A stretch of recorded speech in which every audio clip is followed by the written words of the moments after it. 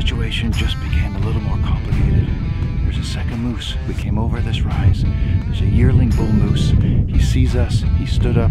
With the wind swirling, he knows we're here. So we're just gonna relax, take a few minutes to let him calm down and just realize that we're not a threat and hopefully be able to get closer so we can get, get some good images. The big bull is magnificent. He's still bedded down in the thicket. We can see him from here and hopefully we can close the gap a little bit.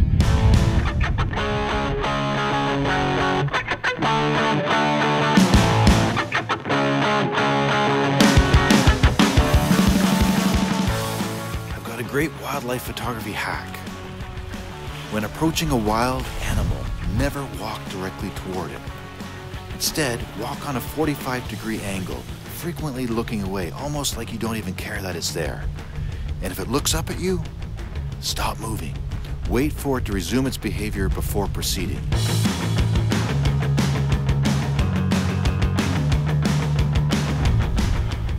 So here's another wildlife photography hack. In a situation like this where we are right now, that sky just above the bull, there's no point in taking that picture in overcast conditions. You'd need bright sunny light so that sky's blue.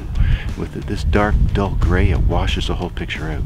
So we'll just be very patient and let the bull pivot around while he feeds so that we can get enough vegetation above him that we don't have sky in the image whatsoever.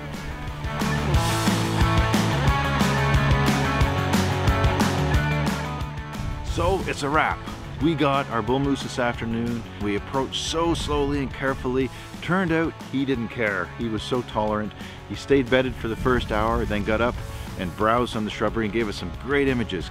Now he's bedded back down and the weather's coming in and we've got about a three mile hike back through the tundra. So we're gonna head back and try and beat the heavy rain if we can. But it was a lot of fun, and great images and lots of blueberries and uh, it was just fun to be with Moose today. So stay tuned for more adventures. We're gonna have many more walkabouts in the week ahead and fingers crossed we have other big charismatic megafauna to share with you. Cheers. So today ended in epic fashion.